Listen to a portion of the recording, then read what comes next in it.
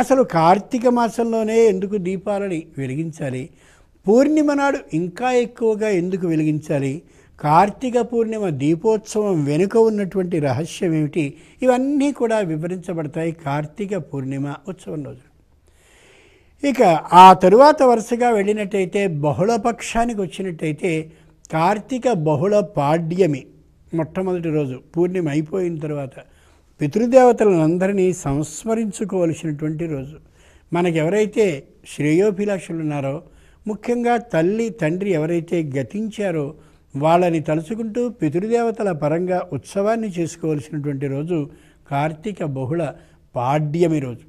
ఇలా వరుసగా ఉండే అన్ని విశేషాలని కూడా ఏ రోజు ఆ విశేషాన్ని గురించి దాంట్లో ఉండే అంతరర్థాన్ని గురించి అనుకుంటూ వెడదాం.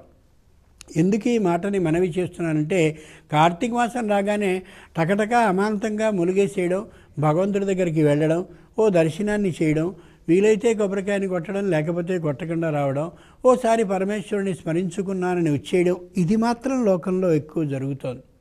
నేను ఎవరిని దుర్విమర్శ చేయడం లేదు కానీ దాంట్లో విశేషాన్ని కూడా మనం తెలుసుకున్నట్లయితే దాంట్లో ఉండే ఆనందం ఎంత అనేటటువంటి యథార్థాన్ని మీ అందరికీ తెలియజేయడం కోసం కేవలం ఈ విశేషాలను చెప్తున్నాను తప్ప మీరు సక్రమమైన భక్తి మార్గంతో చేయడం లేదనేటటువంటి భావన అది కాదు. ఇప్పుడు వరుసగా అన్ని పండుగల్లోకి మొదటిదైనటువంటి కార్తీక శుద్ధ పాడ్యమి గురించి చెప్పబోయే ముందు ఇంకొక మాట చెప్పుకోవాలి. కార్తీక మాసం నెల రోజులు ఏ విధంగా మన దినచర్య ఉండాలి? తెల్లవారుజామునే లేవాలి. తావదేవ భవేత్ స్నానం యావన్నాస్తాత్ కృత్తికా అది సూత్రం. జ్యోతిష శాస్త్రం తెలియజేస్తుంది ఈ విషయం. తావదేవ భవేత్ స్నానం యావన్న అస్తాత్ కృత్తికా.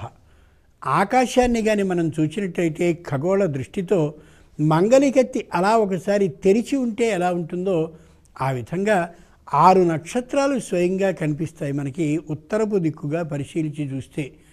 ఆ ఆరు నక్షత్రాలు అలా కనిపించేది కృత్తికా నక్షత్రాలు అని అర్థం. ఆరు ముఖాలు కృత్తికకి అనడంతోనే కార్తికేయుడు అవుతున్నాడు ఆయన ఆరు ముఖాల వాడు షణ్ముఖుడు కుమారస్వామి అవుతున్నాడని చెప్పుకోబోతున్నాం మనం షష్ఠి రోజున కార్తీక శుద్ధ షష్ఠి రోజున కథని. కాబట్టి కృత్తికా నక్షత్రం ఆరు నక్షత్రాలతో కలిసి ఉంటుంది. ఆరు నక్షత్రాల కూడిక కృత్తికా నక్షత్రం.